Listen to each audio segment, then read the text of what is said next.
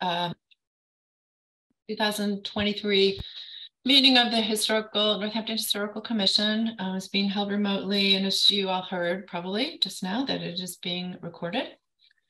Um, we always begin these uh, meetings with public comment. If there's any um, person in the audience who has anything they would like to bring to our attention that is not already listed as an item on the agenda, we'd be happy to hear that now. I would. Janet? Yes. Thank you. Although historic district status was to confer protection, such has rarely been the case on Round Hill Road. However, I would like to report a victory. After viewing trucks and cars wander on the road through the Clark Drive, up and down our drive, up and back from check riders, their drivers seemingly lost, I realized there are no street numbers at the development, despite 23 apartments within the former Hubbard Hall and at least 14 more behind check writers, also unnumbered. I finally called DPW and much to my surprise, received a phone call back from Dave Valletta that afternoon. He had already contacted check writers and told them address numbers are required. Yes, there is an ordinance. And yes, I now look forward to their appearance and hope they comply with HD standards. Item number two, at a historic commission meeting last fall, Martha announced that the Clark School for the Deaf Historic District had been approved by Mass Historic for placement on the National Register of Historic Places. I located a copy of the registration form and was quite taken aback by its content, for it is filled with errors ranging from Round Hill is east of the city to typos, paragraphs lacking, lacking coherence, as well as multiple irrelevancies. A small henhouse situated to the south of the shed on the 1910 atlas was not depicted on the 1915 atlas. But all shrink to insignificance when compared to the primary and undeniable distortion that is within the document. One wonders one has to wonder why Gardner Green Hubbard, Bell's father-in-law, deserves so many paragraphs, or why Clark's most significant figure is relegated to the husband of Mabel Bell, doubtless a distraction. Alexander Graham Bell was deeply involved in the Clark School and the spread of oralism, a now discredited pedagogy to teach the deaf to speak and read lips while forbidding any use of sign language and now also recognized as a pedagogy that contributed to the intellectual abuse of thousands and to the physical abuse of many. The American Association to Promote the Teaching of Speech to the Deaf, founded in 1891, funded by Bell, and with Clark's Caroline Yale leading the way, was an extremely effective propaganda machine. No, oralism was not unique to the Clark School. One has to wonder why the registration form's bibliography lists multiple articles from the Berkshire Eagle and not a single one from the Gazette. Although the creator of the registration form checks the disability box, why isn't there a single reference to a disability historian? And yes, there are many disability historians who have written about the school's fraudulent pedagogy as well as others who speak to Clark's allegiance to Bell's commitment to eugenics to include its on-campus Clar Clarence W. Barron Research Department, supported by the fundraising efforts of Grace and Calvin Coolidge. And yes, I'll stop with this and jump to the conclusion of my critique of the registration form, which I've sent to Mass Historic. Just as today's historians, politicians, and activists continue to uncover evidence of America's unremitting racism, and that includes the Clark School, so too the abusive and long discredited pedagogy of oralism as perpetuated by Bell and the Clark School for the Deaf must be exposed. I trust the Mass Historical Commission, Massachusetts Historical Commission will ensure that truth prevail by withdrawing its approval of a Clark School for the Deaf Historic District and denying its placement on the National Register of Historic Places until such time when a new registration form includes an accurate and verifiable history of the Clark School for the Deaf.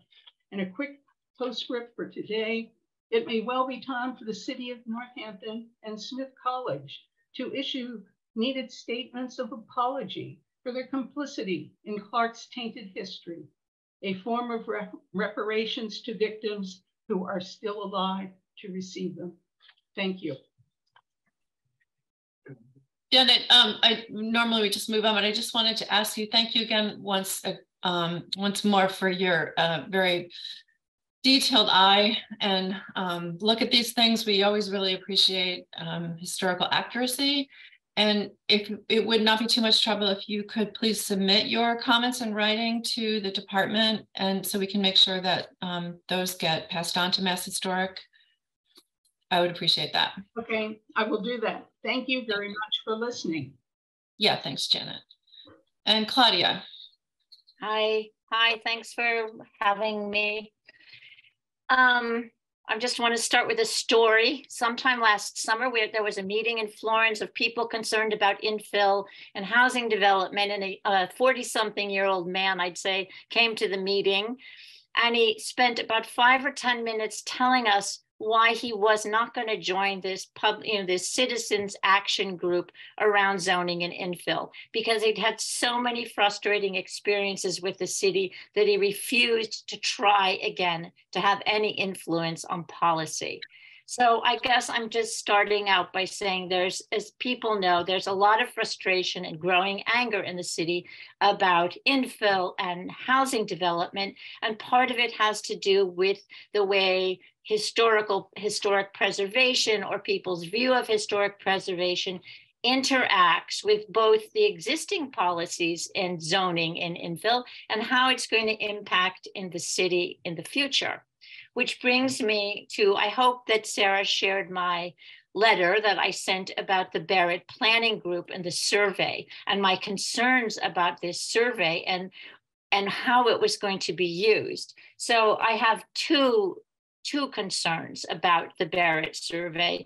And I don't know who oversees, you know, I know that the Historic Commission apparently was involved in developing the RFP and perhaps you oversee the work. I'm not sure how this all uh, plays out, but my my one of my concerns is that the city has farmed out um, a task that will take opinions about what's happening in the city, but has not managed to engage citizens in a conversation. So, opinions, people are always expressing their opinions, but I think what's needed in planning, especially in this area where people's very life, you know, and their living situation is affected, is conversation. And the survey is is I think just a total waste of time. I don't know who's going to take time to answer this survey, um, and I'm hoping that this will have nothing to do with any future of planning in the city. So first of all,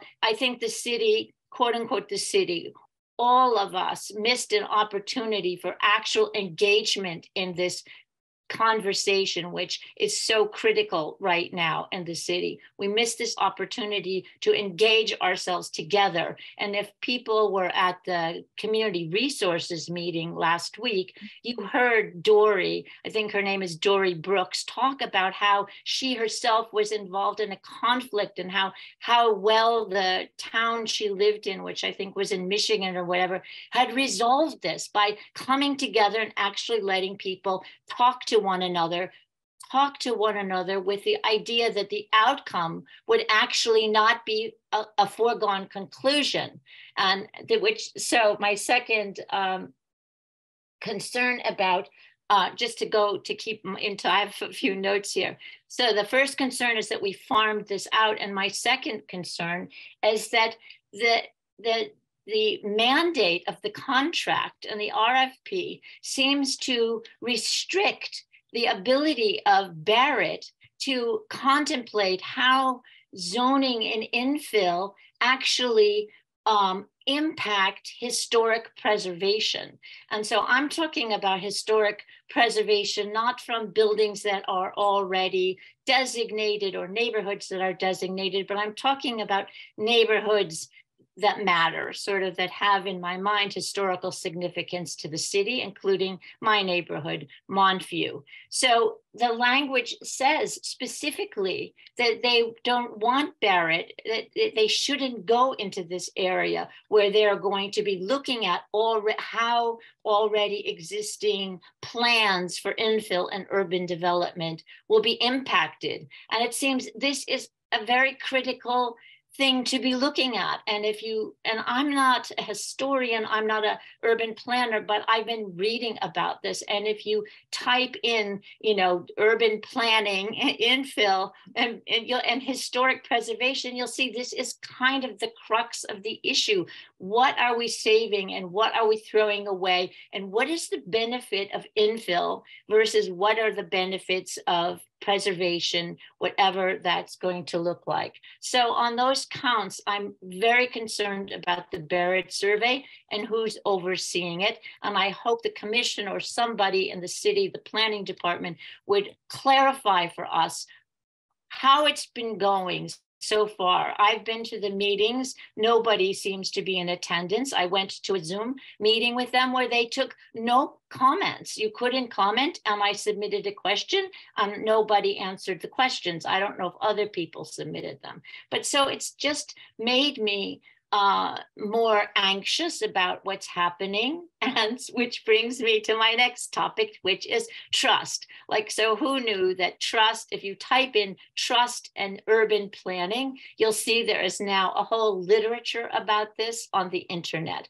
where just like Dory Brooks said, the idea of citizens trusting what's happening, what the city, their city government and their commissions are doing, there's there's a need to develop a trusting relationship. And somehow this trust will translate even into more sustainable and better development. Um, I think what the Barrett survey has done and what a lot of these conversations, because people have been coming in front of boards and commissions and the city council now for some time with worries about this, but there doesn't seem to be any reaction. And I think it's eroded the trust we have that it's going to be in our best interest, that no matter what we say, the city has a plan and they are going to put this plan in in place. And one of the interesting things about trust and urban development is that even WHO, the World Health Organization, has talked about the impact of trust in decisions about your life on your health. And it's called one of the it's called you know that's a social determinant of health. And one of the things they very specifically target is the fact that people feel a sense of inclusion and that they trust what the decisions that they, there's some security in their life so i'll give you a very clear example of this this is just not blather like the man who abuts 107 william street was very concerned about the development at 107 William Street. He had a problem with his water, the water on his property from another development. This is the man where the city gave him a sump pump because his property floods. He could not participate in conversations about 107. He had had he, very bad falling off of his health over the water situation. And he told me he was worried about his health in terms of participating in the future. So I'm just saying all this because I don't feel like there's a sense of urgency about what's happening. And and and it's all going down in real time. Houses are being knocked down, trees are being knocked down, people are losing faith in the city government. And on some level, I like the city is falling apart as a result of this. So I, I guess I'm urging you to, to, to think if is there a way you can revisit this whole process? Can you expand it? Can you actually come up with some inclusionary language, some forums, some actual situations where the public will feel we, you, we are being listened to and that there's a possibility for change on the other side of the equation. So I'm sorry to be so long about this, but I feel like this is a really critical issue, really critical. It's not about history, it's about the future. And I feel like we are putting the future at risk. People cannot afford to stay. They're leaving. You know, it's just it's just becoming more and more treacherous, I would say, to stay the, the city's policies. So I appreciate your taking this seriously and I appreciate your hearing me out. Thanks. Claudia, thank you. Um, and also, um, we did receive your um, letter that you sent in, and um, we appreciate you uh, recording all this information in writing, and it will certainly go on record. So thank you for um, attending. Thank you. Thanks very much. Okay, you're welcome. Um, I do have one uh, chair's report, just one item, because we I know we have to move on. And um, I just wanted to report that uh, Sarah, Sarah and I both received word this afternoon, I think it was. Correct me if I'm wrong, Sarah, from Steve Strimer that um, the National Register nomination for the Florence uh, National Register District is moving along. Um, it looks like they've gotten a preliminary review from Mass Historical, which sometimes can take centuries. And um, that's great. And so hopefully we will see that um, moving along and be um, decided upon uh, soon. So it's a very important uh, part of the city and it's great that it's being recognized and also that Steve and his consultants are working on that. So just a little bit of an update. Okay, we have one set of minutes uh, from August 8th. And if you don't remember, this was the hearing that we, um, in, in, which we discussed both the um, the wireless communications at St. John's um, on Elm Street and also the St. John Cantius Church discussion. And uh, anybody's had a chance to review those, um, any comments? And if not, I would take a motion to approve or reject. I would move to approve. Okay. Second, Harvey. Okay. Sarah, we need to vote. Are we do. If there's any discussion. Uh, none. All right. So roll call. Uh, Greg. He's here. He's here. Um, sort of. muted. Don't see him. All right. Move on. Uh, Steve.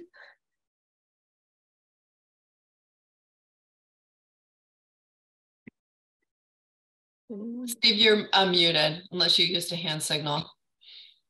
And you don't have any volume. So just use a hand signal for now, then work on your volume. Okay. Uh, Barbara? Yes. Harvey? Yes. And Martha? Yes. All right. Thank you. Okay, great. Uh, so the next item on the agenda, this is our public hearing tonight, and um, this is uh, the hearing to determine whether the, whoops, yeah, carriage house uh, accessory structure at 14 Henshaw Avenue. That's map ID 31B uh, 196 should be determined properly preserved pursuant to the city's demolition review ordinance, chapter 161 of the general code. Um, now we all have the um, materials in front of us, both the demolition application as well as the B form. And uh, I was a little thrown off there, Sarah, because the um, uh, agenda is return, referring to referring to this as a carriage house accessory structure. And I don't believe that's what it is. Oh, geez, that, that's my That's error. okay. I, Yeah. I apologize. And I see how you did that, and that's fine. This is not an accessory structure. It is a actually a three-family residence, a permanent Okay. single-family residence. 14 Henshaw Avenue was built in 1887, and we have both the B form and um, the application. And I also believe that Charlie Conant is here from. Uh, yes, there you are, Smith. Um, Good evening. So uh, normally, Charlie, when we do this, uh, we like to sort of get a presentation from you, and then I will go through with the commission what our uh, procedure options are. Thanks, Sarah. Yeah, I'm coming in a little bit late on the process, but I'm here to, to represent Smith as, as the. Um, so Tom is going to, um, has been, has submitted the applications for us for the demolition. And so he's going to present that. Tom Yep. Good evening, everyone. How are you? Um, my name is Tom Hartman. I'm a principal here at Coldham Hartman Architects here in Amherst, Massachusetts. I'm going to give you a brief presentation um, for some of the larger context beyond 14 Henshaw, um, just so that you understand um, the context of it all. Show you a few exterior photographs beyond what was in the application, and then I'll turn it over to you all. So I'm going to share my screen here. Okay, can everyone see this okay? can, thank you. Okay, so here we are. Here's the uh, historic district, and what we're going to talk about right now is these buildings here. Okay, so P, that's the Parsons house. That's currently in construction and a major renovation. Here, I can make it a little bigger for you. I saw you adjust your glasses there, Barbara. um, 14 Henshaw is right here. These uh, ABCD is the complex formerly known as Friedman, now known as Henshaw. And so ABC, and this has been a riddle to figure out, I promise. Um, ABC Henshaw are buildings that are not in the historic district and they were built after 1945, so they're not subject to any review. Um, D is 19 Round Hill Road. And there's an application that I submitted on October 13th to start this process of determining um, a certificate of appropriateness. And there is a plan being developed for this entire area to um, remove these buildings and replace them with what I understand are small, highly landscaped parking areas. Um, that work is being done right now. It was just commissioned uh, with Dodson Flinker, and the plans are anticipated in the next several months. Um, Sarah and I agreed that with that application for 19 Round Hill Road, we would park it and waive the timeline uh, requirements until a proper presentation can be made to you for consideration on that particular project. Okay. Um, so tonight's application in particular is about 14 Henshaw.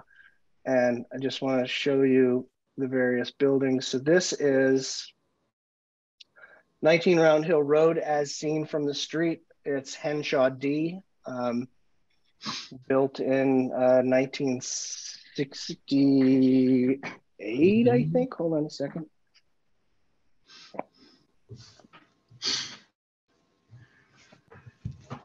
Nineteen seventy six. Uh, I have a set of plans from.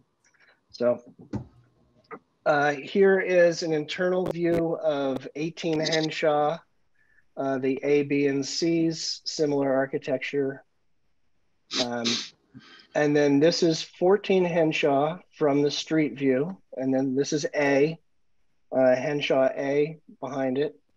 Here's the front elevation. And again, this is built in 1887. The historic name is the Mary Denniston House, and it's stick style Queen Anne. This is, you can see the north elevation with Henshaw B and C in the background. And then this is the south elevation of uh, 14 Henshaw. And with that, are there any questions? I just want to, um, this is Barbara, I just want to make sure I understand. You're saying that, not that it's something we're supposed to consider, but I just want to understand, you're talking about demolishing Henshaw A, a, B, and C, or what is it, A, B, and D, or whatever. Not the one on, we're not talking about the 19 Round Hill, but the other three that are near Correct. 14 Henshaw and 14 Henshaw in order to put in parking in that whole area. That's correct. That's my All four of those buildings. Okay. All five total. Yes. Right. A, B, C, D, and 14. Right. Okay. Okay. Okay. But we're really just talking about 14 today. Tonight, yes. But it is kind of good to know maybe what you're thinking. Sure. Are there other questions of the commissioners? I just wanted to uh, reiterate a couple things. One is that um, the sub uh, we have a subcommittee that reviews demolition applications before we get them. We, the full commission, get them, and they did meet and uh, find that this building met the criteria for um, uh, the build that the, the uh, significance of the building was uh, was such that it met the criteria for us to consider it as a full commission. So it was um, considered to be historically significant. Um, the other thing I just wanted to mention, and Barbara alluded to this, is as a, as a commission and overseeing the demolition delay bylaw, we do not have the ability to judge what is going in replacement of these structures. This is really just about determining whether we think that this building is significant enough um, to uh, merit a delay in the demolition of it. Um, and so does everyone understand that? So we're not um, we are not charged with you know saying oh we really like the design of the new building that's going in or, or the parking lot that's completely out of our purview. And also as sarah mentioned in her staff report um, all of this work that goes on in here in the future is subject to permitting and a number of other reviews. So this is sort of one of the very first steps and it's on us to decide about this um, the significance of this building and whether it merits uh, a, a delay in its demolition. Right, and if I can, um, all of the, the whole area need, would need to go through site plan approval with the planning board and DPU st stormwater management. And no work is projected to start, I believe, until January of 2024 regardless. At the soonest. Yeah. So uh, the commissioners, do you understand about our purview? Everyone understand that? Okay. So uh, there are a number of things that we need to consider in making this determination. Um, and I'll just go through those with you again. They are in Sarah's staff report, but in case anybody didn't have time, um, and also for the information of for people who are not on the commission. Um, this is what we consider. One is uh, what the current condition of the building or structure is.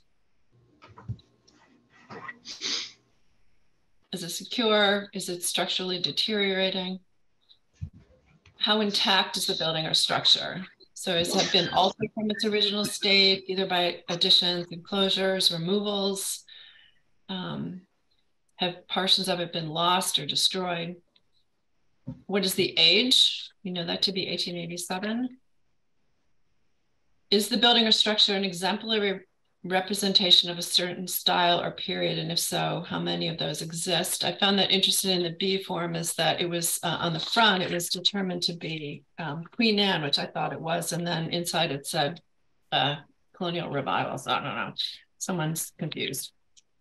Um, I saw that too, yeah. and a little inconsistency. That happens though. Mm, what is the building or structure's role in the streetscape? Does it fit into the natural and built fabric of the street? Um, does it frame a prominent corner or viewshed? Are there exemplary construction, ele construction elements that embody distinctive characteristics of a period? So does this represent a significant style of architecture? Are the um, building's form, proportion, plan, style, or materials common to a particular class of resources? Does the building or structure get important information to history?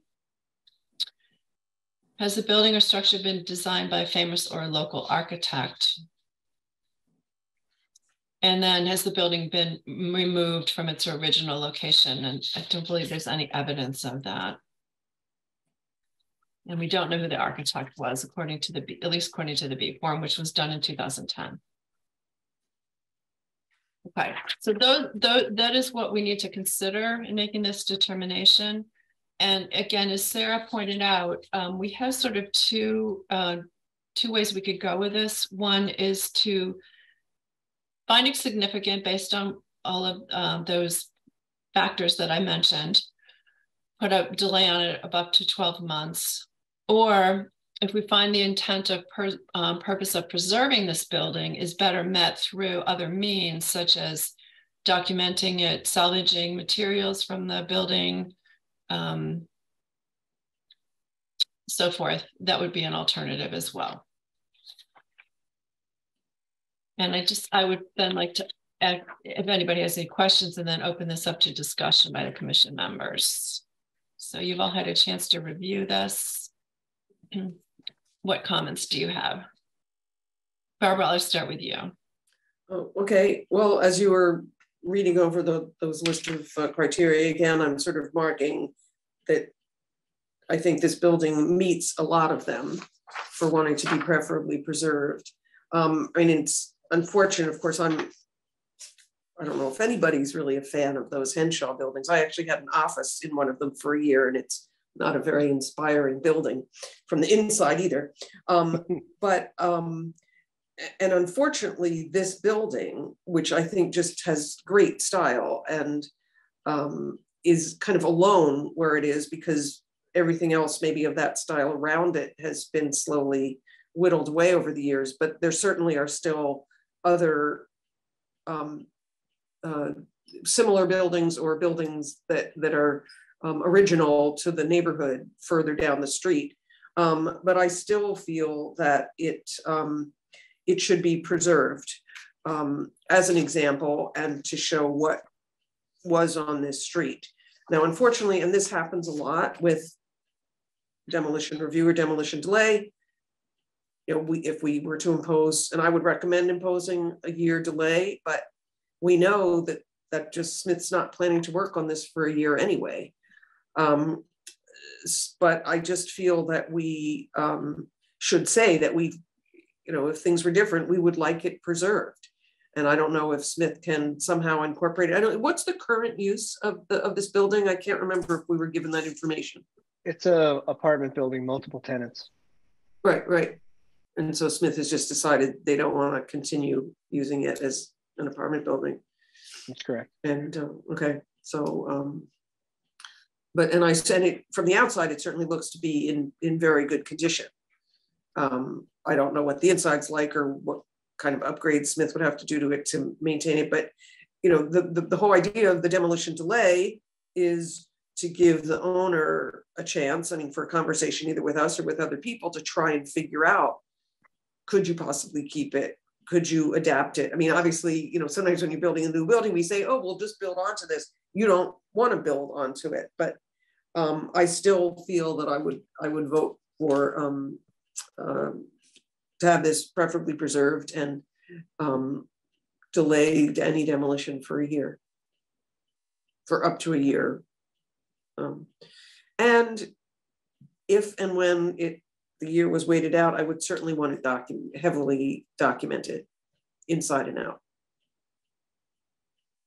Barbara, thank you.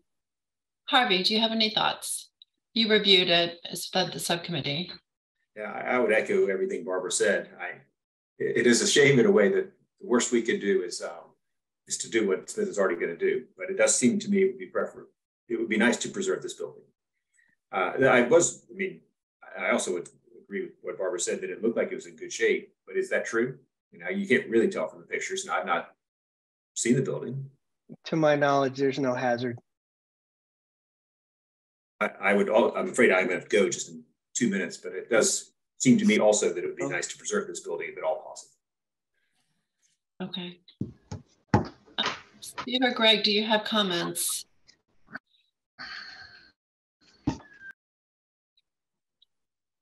Nothing? Are you there? oh, Great, I do must go, so. Okay, well, we, we have the quorum, right, Sarah, because Greg We can joined still us. vote. We Yeah, think. As as long as Greg votes, I know he he indicated that uh, someone stepped in, but he will need to vote. So Greg, if you can hear us. Okay. Well, Harvey, thank you for. uh, I'm sorry I have to go, so thanks, Nope. bye-bye. No worries. Thank you. Uh, Greg, okay, there you are. There are. he is. Whoop. Yep. Did you hear any of our discussion or presentation? Yes, Right. I did, and I apologize. I'm doing a couple things at once. I apologize. I did hear. Um, but uh, when you start with a vote, uh, I'm still reading the the uh, paper that you uh, sent over. So I'll start with the other folks, and um, I'll finish reading this very quick. Uh, Steve, are you there? Ah, good, great. You're muted. Or you have no volume. Oh dear. Okay, Can you hear me now? yes, we can. All right. Um, I, I need to recuse myself from this issue, which is why I'm not speaking as an employee of the college. You can, uh, Steve, I'm right, Sarah, he can, Steve can participate in the conversation, he can't vote. Uh, it, if he feels more comfortable recusing himself, he, he definitely could do that. You, Steve, you probably would need to do a disclosure form uh, with the appointing authority, which is the mayor. So if you wanted to consider these in the future, you could do that. Um, but pro- probably best not to for this one would be my advice. Yes, I would like to avoid the appearance of, of conflict, um, in any case, so, um, yeah, I'll leave it there.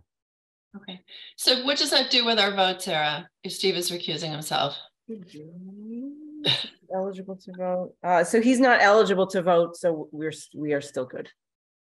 Okay, because there, we do have a quorum at the meeting, but we Yeah. just, Yeah. Okay, all right, okay. Greg, do you have any other thoughts? Any thoughts after reading? You're muted. Yeah, it's a, it's a zoo in here. Um, I'm still reading this, just a couple quick seconds. If you want to take everybody else's um, roll call, then I will, I will uh, finish up reading this. Okay, well, I can just um weigh in, you know, briefly. I don't have a lot to add to what um Harvey and Barbara have said. I think this is um quite a beautiful building. And it is a um uh, you know, a very fine example of, again, what I would call Queen Anne or stick style both.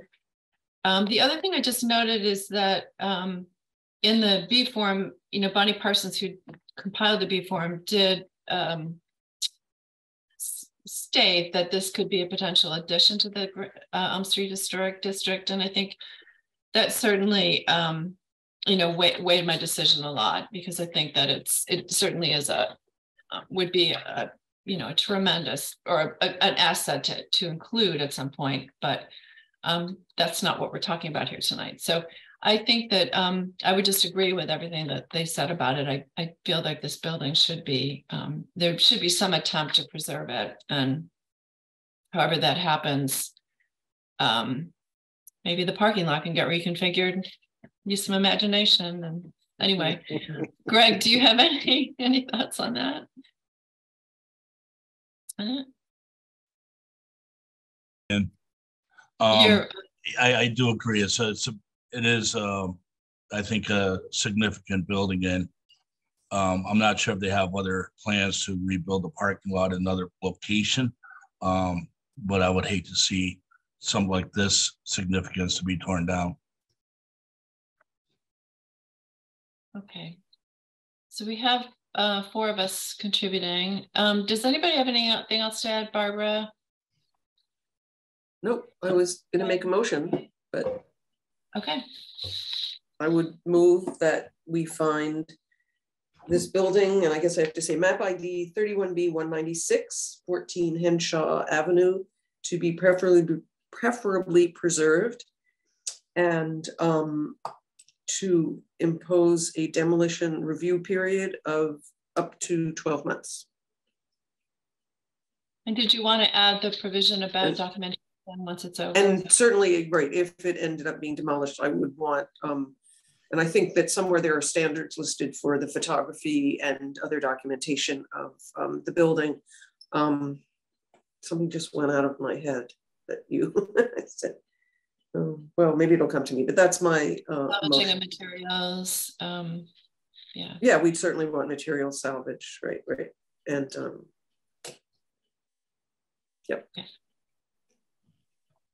so Greg, you would have to second this. I will second that. Any more discussion? Just the three of us.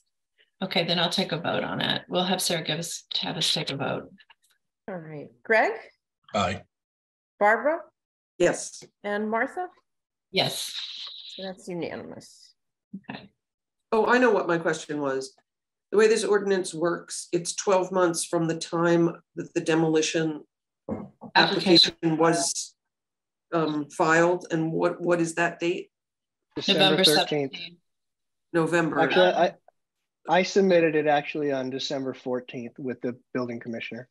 Okay, Oh, okay, because the date on what we have says November seventeenth, but but yeah, I didn't, I didn't look at that again today, so I, you know, I was just looking at the form. I might have, yeah, I might have been looking at the other. Um, because there, there have been a few of these going into the building department. Okay, Similar. and I really would like to second, um, say to Charlie and, um, is Thomas the, maybe he already. Tom. You're still there, Tom, sorry, Tom Hartnett, sorry. Um, uh, that maybe Smith figure out some way to keep this and, you know, build your, how many spaces do you lose by putting your parking around it? You know, it could be, it could be something. Particularly if it's in good condition. I'd, I'd really like Smith to just go back and really seriously think about that. Understood. I just, this has nothing to do with the building coming down, but I just have, I'm curious, why does Smith almost all of a sudden need all this parking right there when they haven't had anything forever? I mean, and you know, it's like the faculty have grown and the student population has grown. What's going on? Well, There's always a number of reasons for things happening on campus. There's there's a couple of um, bigger things that are in the background here. One is the geothermal. Mm -hmm. um, project that's going on. We're converting all of our buildings. So, um, no, no, but, um, you know, the, the, at least the four Henshaw buildings, um, are on steam now. And, um, so the decision on those was fairly easy. Do we put the money into converting those for the geothermal or do we really want to invest in those buildings going uh, forward? And I think, um, so that kind of is in the background um, just saying. And then there's also the campus master plan, landscape master plan, which um, has us um, moving parking from central campus to the Berea of campus, um, and that being east there, north of Elm Street, however you interpret the direction there. So there, there's a desire to push that parking um, off the central campus to make more pedestrian ways where there are currently accesses, uh, access roads to parking areas and so forth. So that's um, I think the main impetus is to to move that parking. Got it. Uh. We're we're fairly bound in, you know, the perimeter, so um, we don't have many options. And those buildings over there, being what they are, um, are the easiest um, way to create some some surface lots uh, for us without getting into other buildings that are more significant. Fortunately, uh, 12, 14, or 14 is um, in the middle of that site now, and uh, create some problems for the the designers to lay out an efficient parking and um, access plan for that particular hillside there. Mm-hmm. Yeah, I can understand that certainly. Um, and one other question: Did Smith recently purchase this building um, that we just reviewed at 14? Is that oh. they've been in the building for a while? Has it been? I think I've been there 30 years, and I think we've had it all those years. Okay. Um, so you've always been a landlord for yeah, we do. I guess so. Um, actually, yeah. one of my colleagues that worked in our department, uh, in my office next door to me, lived there for a while um, before she moved on. So, is it so? Is it Smith associated people that only only that get, that, or is it on the rental market? Um, you know, I don't know the answer to that honestly. Um, okay. I think recently it's been more Smith uh, associated rental.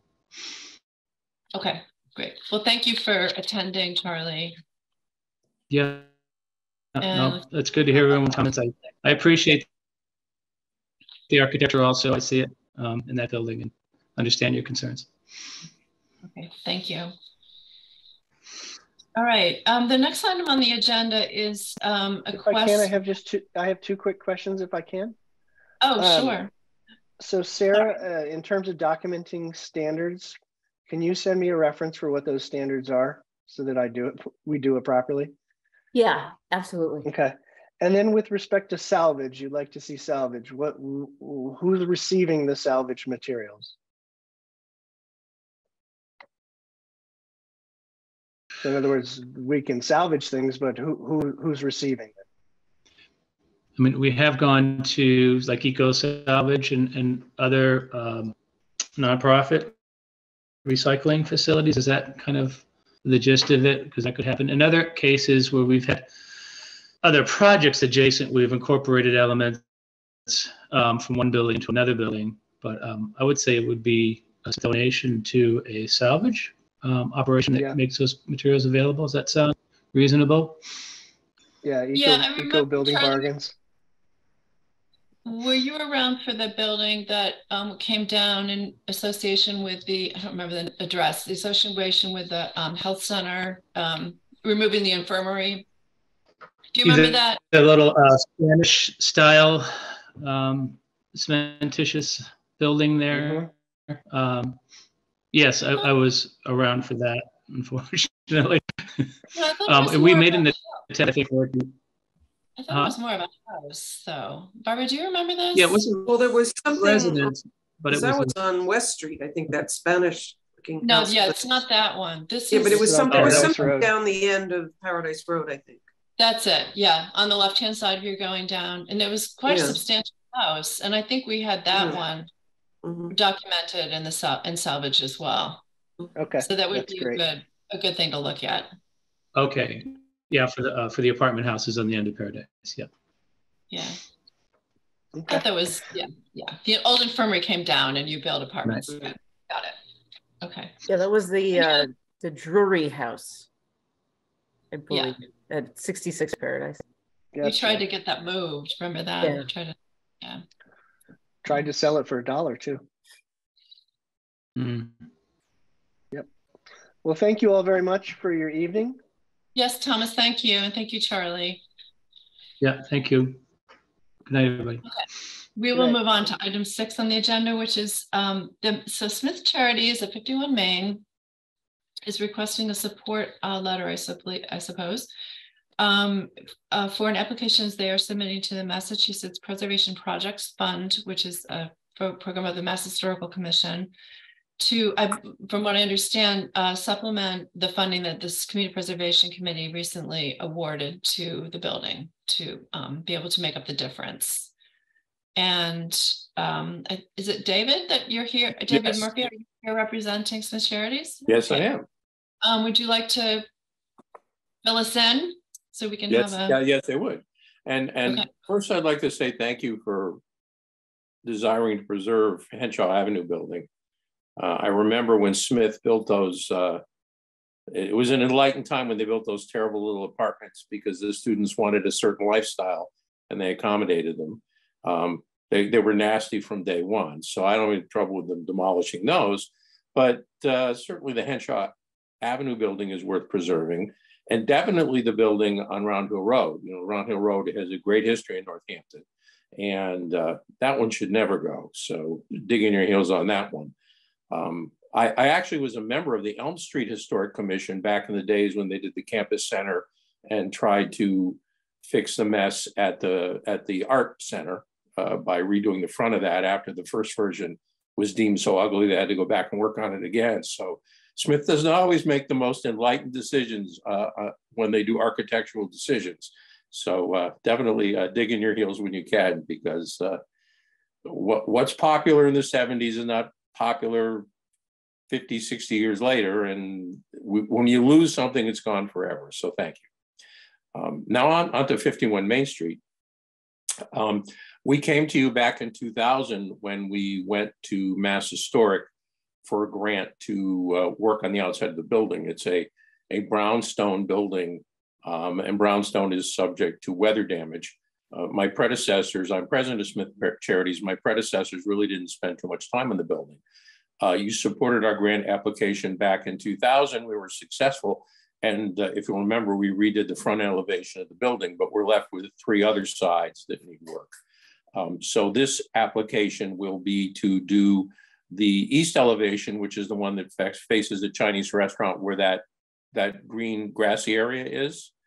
And uh, in particular to work on a certain chimney. The, the building used to have four chimneys. It has only one left now, and that one is in tough shape. And, and all of this stone is scaling on the different sides of the building. Um, that Sarah was going to distribute to you the CPC grant application, which basically covers um, what we're going to Mass Historic for. Uh, they did give us a grant in 2000 to work on the front of the building. We're going to go back for another grant um, for the east elevation and, and some work on the roof where we deal with the chimney. And there was, you know, depending on how much money we get, we'll work on the rear and the west elevation that faces what's going to be Chase Bank. Um, so thank you for your previous endorsement and hopefully you'll be willing to endorse the project this time. Um, as Sarah can attest, Mass Historic has some pretty strict requirements um, for bidding and for, uh, for historical accuracy. And when we did the 2000 um, grant to them, we did give them a permanent historic restriction on the building. So everything has to be done to the satisfaction of Mass Historic. And anyone who's dealt with them knows they're pickier than pickier than picky. So uh, right down to, I think we had a week long discussion about the grout color for, mm-hmm. for the putting the stones at the front of the building. But I think it came out great. And uh, so hopefully I'm happy to answer any questions. If you had a chance to review the, the material from the CPC application, the Mass Historic one is actually much more detailed than the CPC one. I was working on it today. Um, but if you have any questions uh, about the history of the building built in 1865, 66, um, and, and actually Oliver Smith is a very interesting character. He died before the Civil War. Uh, there was a fabulous trial over his will because his family didn't want the charity to get the money. Uh, it, it, the history is, is pretty amazing. Uh, I don't know how much time you have to listen to it tonight, but tonight's pretty simple. Just would you endorse our application to work on the east elevation of the building and as much more as we can do with whatever money we can acquire. Thank you, David. Uh, Steve, Barbara, um, Greg, do you have questions for David? I have no questions for David. I've known him for many years. Being uh, born and raised in this town, I know that the uh, significance of what they do, and that is a beautiful building from the outside. It would be great to see them. I'm, Dave, how much room is between the incoming Chase Bank and your building? It's got to be pretty uh, narrow. Well, well, Chase Bank is on the western side of our building, and that that building actually sits right on its property line. Um, and in fact, they call it Bank Row, the the alley between uh, where Chase Bank will be and and Jake's restaurant that goes behind us and, and comes out behind Fitzwilly's. Mm-hmm. They, that building actually, the bank building actually encroaches on that alley by a bit. They, they, they weren't really good when they built it, so it oversees its lot line a little bit. Um, but it's it's pretty tight in there. And that elevation is is if it wasn't for the chimney, we'd be working on that one because that side um, doesn't get any sun. So the water damage to the stone on that side is worse than it is on the east elevation. The thing about the east elevation is this silly chimney, which we're afraid is going to fall over. So we do the west side, except we're worried about the chimney. And um, while it would make a lot of sense, since the other three are gone, uh, to actually take it down, because of historic restriction, we have to spend the money to preserve it. Um, even because it's the last one, um, so Mass Historic, I talked to them. They said, no, no, no, no, no. You, you know, you're going to have to spend whatever it takes to keep it there. Um, so we got to keep it there. But uh, and you can't really see it because it's in the back corner of the building, but it's still there. So we got to spend the money to put it back on the building.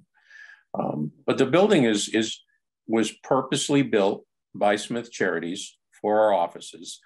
It is the oldest building on Lower Main because it's been there since you know, basically the end of the Civil War. We have occupied it since then, and it's perfect for our purposes. Um, and, and if any of you would like to join, I know Sarah's taken a tour of the building. We have some wonderful action photos of Sarah climbing around up on the scaffolding with a hard hat on, uh, observing the restoration we did on the front of the building. And if any would like to come tour the building, I'm happy to take you through the building because it is a it's a museum piece uh, for sure. Uh, the most unfortunate thing is uh, that they, in probably the late 60s or early 70s, whoever was in charge then redid the lobby based on a bad, bad early 60s bank design and took out some pretty historically significant uh, features. Uh, we have some of them, but not all of them. We'd like to get around to that sometime. But at the moment, the exterior and preserving the, the, the envelope and the integrity of the building is, is what we're interested in doing. So uh, that's why that's why we're here um, to get your to get a letter of support. And your letter of support is a requirement of Mass Historic to consider our grant. I mean, they're very they're very strict about the fact that you guys they have to buy into our yeah. buy into our working on this building, or we we can't submit our application. So, Barbara, you had a question. Well, I just had a question. Actually, it was more for Sarah. Whether did we get sent this? It's possible you sent it recently and I didn't see it, or I, I sent it in a link, um, and I. Oh, okay, maybe, I'm it. sorry, maybe I missed that. I haven't Yeah, and we- It- it's home for a couple essentially the days. same application that um has come before you in in a few different iterations for requests for CPA funding.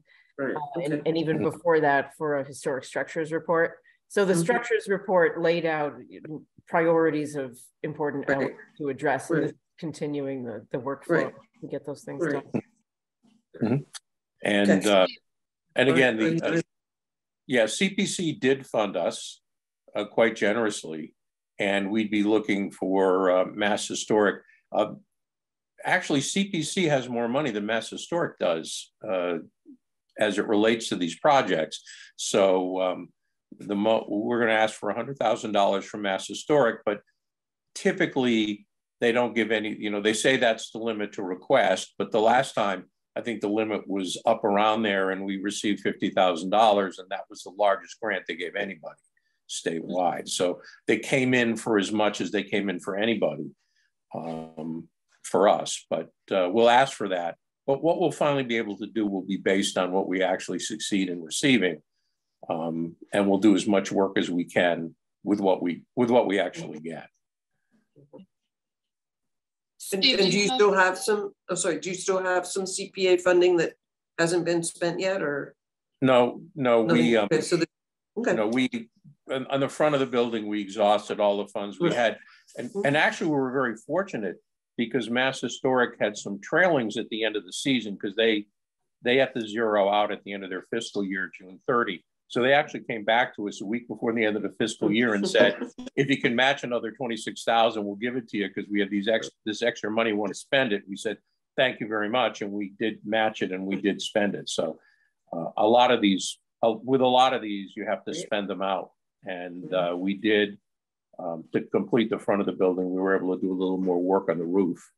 Um, Great. it has a slate roof, even though you can't see it um, behind the parapet. But um, no, we we did we we have no trailings. We're starting from scratch on this on this next round. Good. Steve, any thoughts, questions? Yeah, I mean, it seems like exactly the thing we want to support, right? And all the elements are in place. Um, you have a significant historic resource. You have a property owner that's seeking rehabilitation. You have a historic structures report to guide the work. You have clearly illustrated plans. You have MHC involved to review the work. I mean, everything is there. So uh, I'm a supporter. Yeah. And I would like to say we have um, some great assistance on this. Uh, you mentioned her earlier, but Dory Brooks and Jones Whitsett is the architect. They did the first round. Uh, Allegrone from Berkshire County, the masonry company there that is is well well known for doing masonry restoration is involved. Structures North is our engineering firm. They're from Salem, Mass. They're renowned in this world. So, you know, we've got great players, a great property, and we're just going to try to stay on it and work around the entire outside of the building till we get the envelope taken care of. Okay, great. So I, yeah, I just, I'm, I'm the CPC representative, um, or the representative from the Historical Commission, CPC, and I'm, you know, pleased to know that you're seeking additional funds and support, because I know that was a Mhm. concern of the commission. Absolutely. So that's great. Okay, um, so unless there's, uh, any other discussion, and Greg looks like he took a break, um, we, do we need to vote, Sarah? We don't need to vote on this, do we? We don't, do we? Uh, to make it cleaner, we should, yeah. Okay. All right, so does someone want to make a motion and then we'll take a vote? Greg, since uh, we are, we're voting on whether we want to um, support an applic, well, someone's making the motion. I move that the Historical Commission states its support for the Smith Charities application for grant funding from Massachusetts Historical Commission. I second. We enthusiastically support. I will accept the amended I would, language. I would- I would amend it to that. yeah. Any other discussion? All right, I think we can take a vote. All right, Greg, I say yes. Steve, Yes, Barbara, Yes, and Martha? Yes. All right, unanimous, Well, thank you for your enthusiasm. Oh, well, good luck, David. Good luck with that application. I know it's onerous. Everyone Thank you. complains about them, so. Well, they, we, you know, they have a, they have less money than CPC does, and they have a whole Oh, state yeah. to deal with.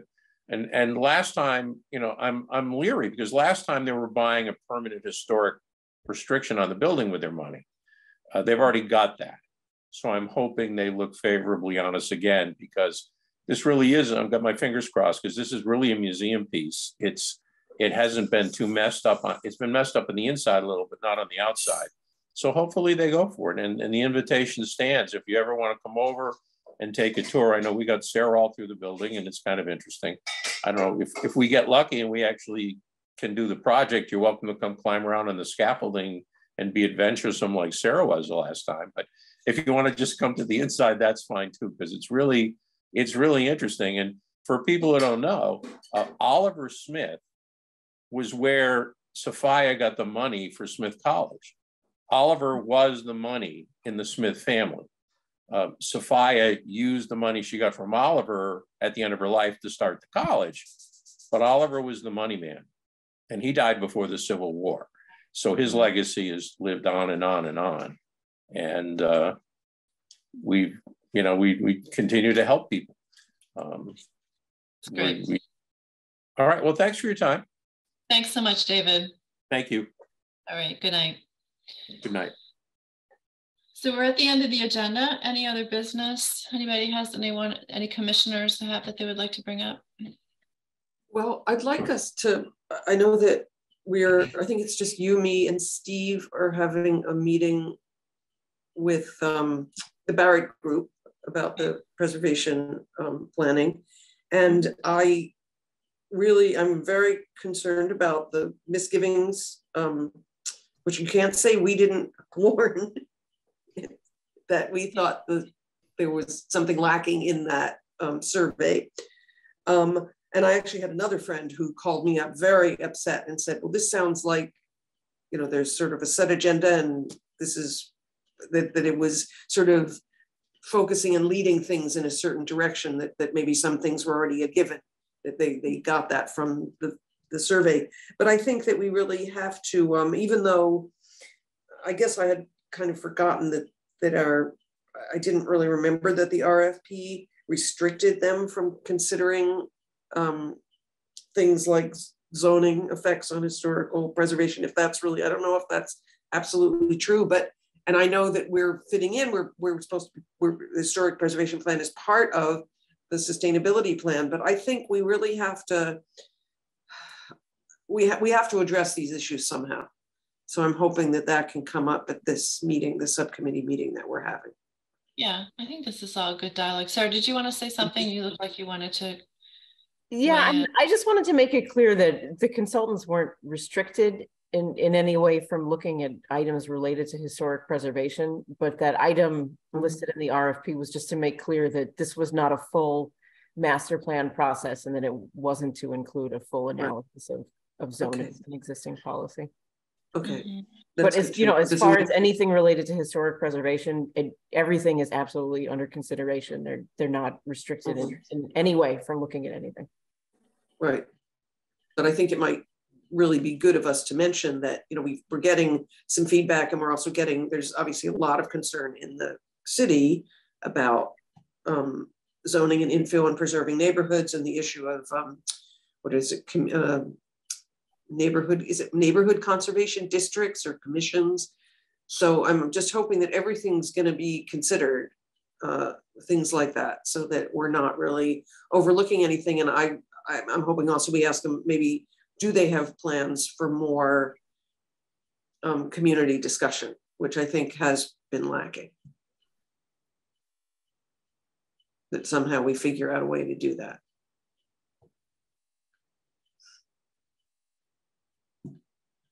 Yeah, I think it's important that we'll, we have this meeting coming up and I agree that these are key issues.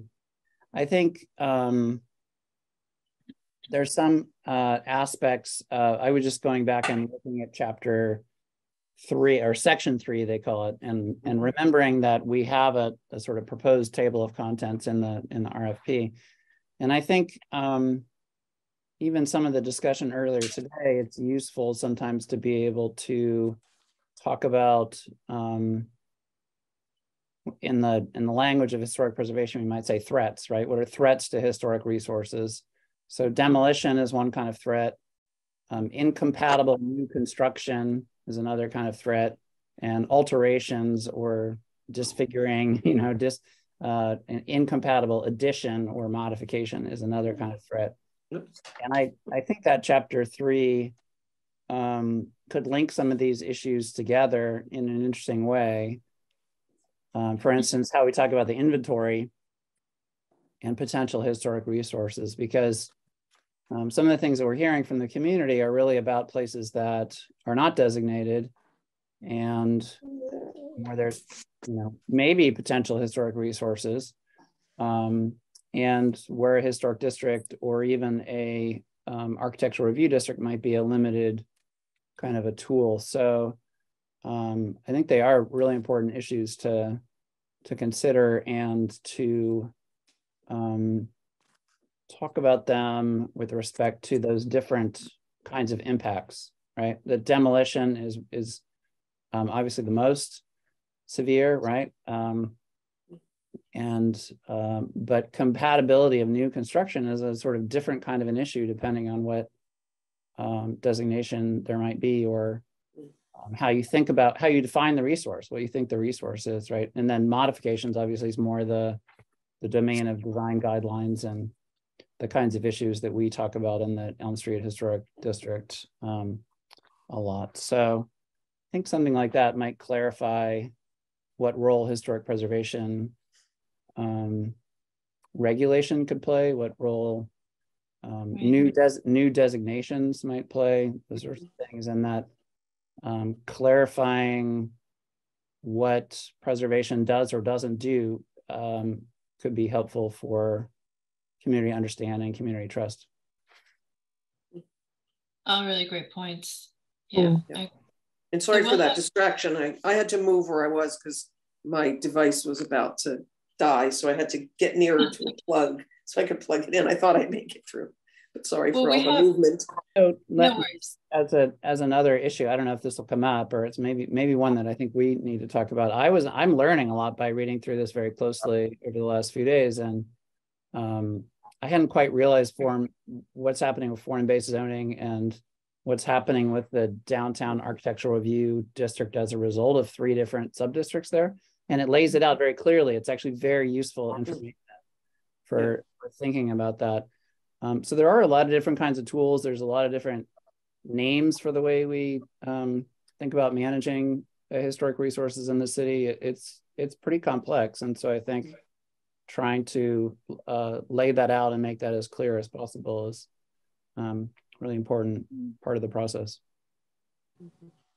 Yeah, I think these are all really great, and you know, um, I think oftentimes we we can get bogged down by um, criticism, but I think this is such a great opportunity to explore all of this and to um, get us on track. And it just, you know, that, that process can be painful. So um, it's, you know, it's just, it's all good. Um, and we are meeting um, whenever it is next week, I guess, right? Yeah.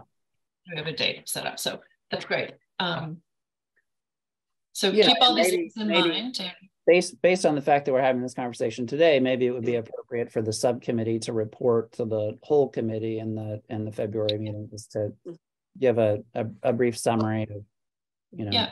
Where we are, what phase it is, what what chapters are coming next, um, maybe how a little bit more about um, how the draft chapters connect to the phases of work, you know, some of that kind of thing, just to so we're mm-hmm. clear on it, and then we can explain it to community members at the same time. So I think that's a great, great idea. Yeah, mm-hmm. important. Okay. We'll task you with that, Steve. I'll try. Oh, yeah, I'll, I'll try. I'll ask a lot of questions and take a lot of notes. So. Yeah, and I'm gonna. I'm really gonna try and reread. It's been so long since I've read those. Yeah, me too. Chapters. I think I want to reread them, but I remember them being great summaries of what's yeah. what, what's in place and of the sort of the history of preservation and, and mm-hmm. looking at it and yeah. trying to discover what our resources are. Yeah. Okay. Great. Um, well, if there are no other um, no other um, issues, uh, we will adjourn and we meet again at the end of February. I think it's the 27th, the day. Okay, I hope you all have a good February. Sounds good. yeah, You too. it'll be here before we know it.